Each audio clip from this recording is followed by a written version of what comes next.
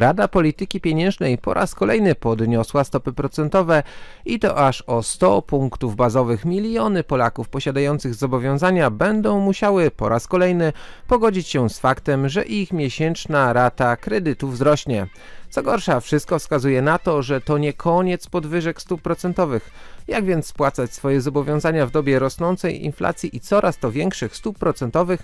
W dzisiejszym wideo postaramy się odpowiedzieć na to pytanie, jak również zastanowić się, jakie kroki warto podjąć, aby nasze zobowiązania nie stały się zbyt wielkim ciężarem do uniesienia dla naszego budżetu. Z tej strony Tomek z kanału Sprytny Pieniądz, witam Was bardzo bardzo serdecznie i już teraz zapraszam Was do subskrypcji kanału, jak również zapisania się na mój newsletter, dzięki czemu nie ominie Was żaden nowy materiał, a do tego zgarniecie ekstra bonusy. Link do zapisu znajdziecie pod tym wideo. Ceny na sklepowych półkach rosną w zastraszającym tempie. Już 4 na 5 Polaków zaczyna rozglądać się za produktami z promocji i robi zakupy w dyskontach spożywczych. Widać, że sytuacja przeciętnego gospodarstwa domowego w Polsce staje się coraz trudniejsza. Cóż jednak się dziwić, kiedy ceny zaczynają rosnąć, a nasze płace cały czas stoją w miejscu, mamy coraz więcej wydatków. Prowadzi to do drenowania naszego budżetu i naszych oszczędności. Co gorsza, do szalejącej inflacji doszły podwyżki stóp procentowych, które przekładają się na wysokość oprocentowania rat kredytów. Im wyższe stopy procentowe, tym wyższa rata i na odwrót. Ostatnie miesiące były dla kredytobiorców naprawdę ciężkie. Proces podwyżek stóp procentowych trwa nieprzerwanie od jesieni ubiegłego roku i wszystko wskazuje na to, że potrwa jeszcze trochę. Najdotkliwiej odczuwają to osoby posiadające kredyty hipoteczne. Raty ich kredytów potrafią poszybować o kilkaset złotych do góry, a to wywiera ogromny wpływ na ich życie. Ostatnia podwyżka stóp procentowych o 1% po raz kolejny zadała, a raczej za chwilę zada bolesny cios kredytobiorcom. Jak więc można zoptymalizować spłatę swojego zobowiązania? Istnieje kilka sposobów na poprawę naszej sytuacji. Pierwszym pomysłem jest jak najszybsza spłata naszego zobowiązania. Oczywiście jest to banał i każdy teraz powie, że nie odkryłem tutaj Ameryki, ale wiele osób ma możliwość nie tyle spłaty, co nadpłaty części kredytu. Im więcej kredytu nadpłacicie, tym mniej bank policzy wam przyszłych rat i mniej będziecie musieli oddawać. Przypomina to trochę kulę śnieżną, która się topi, a którą to pchamy pod górkę. Im szybciej stopimy ją, tym łatwiej będzie nam ją pchać. Wiele osób paradoksalnie ma możliwość nadpłacenia swojego zobowiązania i teraz pomówimy o kilku sposobach na tego typu rozwiązanie sytuacji. Pierwszym jest rezygnacja z przyjemności lub ich ograniczenie. Kiedy widzimy, że spłata kredytu jest coraz trudniejsza, być może warto zamienić plany wakacyjne na nieco mniej ambitne albo zacząć oszczędzać na ubraniach, drogich zachciankach i innych. Sposobów na oszczędzanie jest naprawdę sporo i na moim kanale znajdziecie ich dziesiątki, jeśli nie setki. Link do tego typu filmów wyświetlił Wam się właśnie w tej chwili u góry ekranu. Posiadając nadwyżkę budżetową, którą zbudowaliśmy z oszczędności, warto przeznaczyć ją właśnie na nadpłatę kredytu lub, jeżeli jeszcze tego nie zrobiliście, zbudowanie poduszki finansowej. Poduszka finansowa to kwota pieniędzy, która pozwoli nam przetrwać trudny czas. Utrata pracy, choroba lub inny wypadek losowy mogą przewrócić nasz świat do góry nogami. Warto zadać sobie pytanie, czy jestem na tego typu sytuację przygotowany? Czy mam zgromadzone rezerwy, które wyciągnę z zanadrza po to, aby móc organizować się na nowo i wyjść na prostą? Jak sami widzicie, nie trzeba dużo, aby nasza sytuacja finansowa uległa szybkiemu pogorszeniu. Warto więc być przygotowanym wcześniej i wiedzieć, że gdzieś tam mam przygotowane koło ratunkowe, które pomoże mi, kiedy będę miał kłopoty.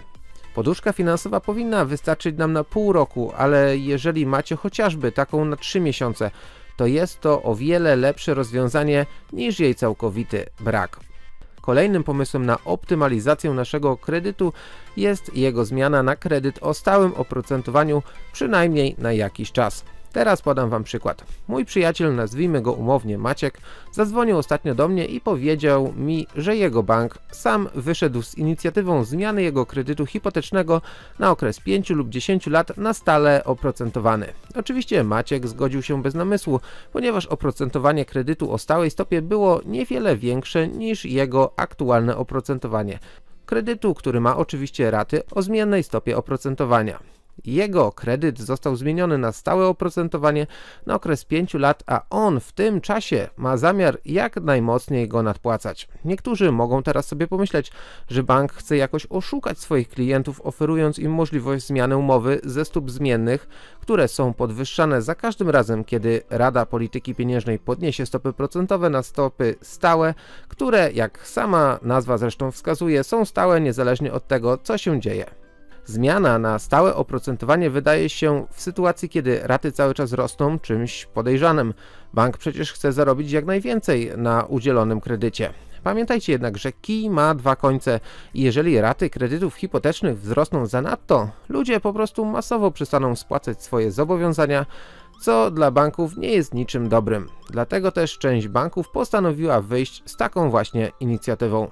Banki chcą więc maksymalnie kolokwialnie rzecz mówiąc, wydoić swoich kredytobiorców, ale nie chcą ich konsumenckiej upadłości. Dlatego też polecam Wam rozważyć możliwość zmiany swojego kredytu na stałe oprocentowanie, chociażby na okres 5 lat. Tak jak mój przyjaciel, możecie w tym czasie maksymalnie nadpłacać swoje zobowiązanie i radykalnie zmniejszyć wysokość zadłużenia. Trzecim pomysłem na pozbycie się długu jest sprzedaż innej nieruchomości lub tej, którą aktualnie spłacamy. Niektóre osoby chciały zainwestować w nieruchomości i podparły swoją inwestycję kredytem hipotecznym. Niektórzy mają inne nieruchomości, które mogą spieniężyć, aby pozbyć się długu na dobre. Jeszcze ktoś inny może zamienić swoje mieszkanie na mniejsze lub sprzedać całkowicie mieszkanie wraz z kredytem. Ile osób, tyle sytuacji i każdy z nas powinien indywidualnie rozpatrywać to, co jest dla niego najbardziej optymalne. Warto rozważyć każdą z opcji, zwłaszcza kiedy widzimy, że rata kredytu staje się dla nas obciążeniem, z którym za chwilę nie będziemy mogli sobie poradzić.